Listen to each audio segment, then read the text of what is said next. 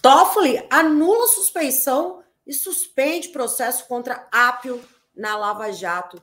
É sobre este importante tema que eu, Laís Gouveia, vou abordar neste boletim 247 hoje, que é terça-feira, dia 19 de setembro. Então vamos logo aos fatos. Compartilho aqui com vocês imediatamente a nossa atual manchete do site Brasil 247.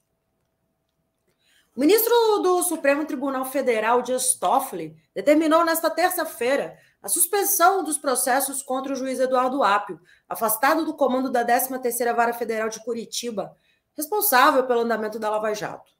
Toffoli anulou também a decisão que declarou o juiz suspeito por constatar que a decisão foi, abre aspas, ilegalmente zarada pelo TF4, Tribunal Regional Federal da Quarta Região, fecha aspas, abre aspas. Como visto, Consta-se que o relator da sessão de suspeição descumpriu frontal, consciente e voluntariamente reiteradas decisões desta Suprema Corte, diz a petição do ministro.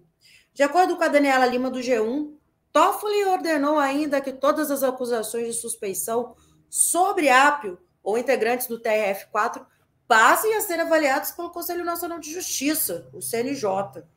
Toffoli também determinou que o CNJ envie ao Supremo envie ao Supremo todos os achados sobre a atuação dos desembargadores do TRF4. Então aí, notícia importantíssima a respeito aí dos desdobramentos da Lava Jato, não é mesmo?